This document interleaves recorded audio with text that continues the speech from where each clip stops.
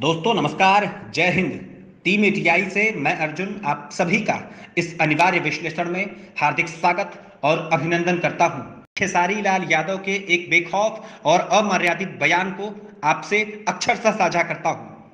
दरअसल, पिछले दिनों खेसारी लाल ने अपनी बेटी और परिवार पर केंद्रित एक बेहुदे गीत का जवाब देते हुए खुलेआम न्यूज़ चैनल्स, अखबारों और यूट्यूब पर वीडियो बनाने वाले कंटेंट क्रिएटर्स को धमकी दे दी। उन्होंने धमकी देते हुए कहा कि यदि किसी ने मेरे खिलाफ निगेटिव न्यूज़ छापी तो मैं या मेरे लोग उसके पूरे खानदान को नहीं छोड़ेंगे। आगे उन्होंने कहा कि मेरी फ़ोटो इस्तेमाल करने से पहले या मेरा नाम लेने से पहले एक बार मेरी परमिशन ले लेनी चाहिए। नहीं तो मैं आपके चैनल को कहाँ तक लेकर जाऊँगा? इसका आप सभी को अंदाज़ा नहीं है। आपके चैनल को उड़ाने में मुझे बिल्कुल भी वक्त नहीं लगेगा और पूरे खानदान को इसी मैटर में मैं घसीट लूँगा। दोस्तों, सच कहूँ तो जब भरत शर्मा जी, मदन राय जी और मालिनी अवस्थी जी जैसे फनकारों की विधा में मैं लीन हो जाता हूँ तो यकायक भोजपुरी को लेकर के पुनश्च गौरवान्वित महसूस करता हूँ।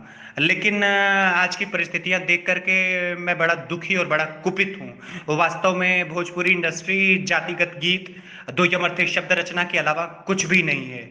अहिरान, बबुआन, पांडे जी यहाँ चिपक करके किस करते हैं? जिस इंडस्ट्री के 90 फ़ीसदी गानों में, औरतों के निजी अंगों के बारे में खुलकर राग अलापा जाता है, वहाँ अश्लीलता की बातें, जुमला नहीं तो क्या है? कभी पवन अक्षरा को बोलेगा? कभी खेसारी नीलकमल को बोलेगा, कभी प्रियंका सिंह शिल्पी राज को बोलेंगी।